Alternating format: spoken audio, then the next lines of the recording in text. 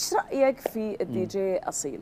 يعني وتأثيره على الأغاني حقتك وخبرنا شوي. آه طبعا وجه له تحية دي جي أصيل تحية كبيرة أكيد. من اصدقاء يعطيه ألف عافية.